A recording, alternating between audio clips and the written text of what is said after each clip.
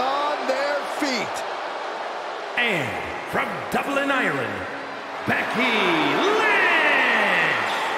She is as tough as they come. Yeah, these days the outfits may be a little fancier, but the passion and Lynch remains the same. Perhaps the most popular competitor in women's division history.